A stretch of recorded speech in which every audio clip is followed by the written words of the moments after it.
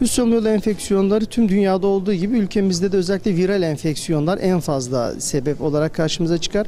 Viral enfeksiyonlar dediğimiz normal şartlarda antibiyotikle iyileşmeyen türdeki nezle grip benzeri dediğimiz solunum yolu enfeksiyonlarıdır. Bu solunum yolu enfeksiyonları genel tedbirlerle çocuklarımızda atlatılabilir. Beslenmenin düzenlenmesi gibi, e, çocuğumuza daha iyi sıvı vermek gibi, ateşi varsa ateş düşürücü vermek gibi e, bir takım tedbirlerle rahatlıkla atlatılabilir.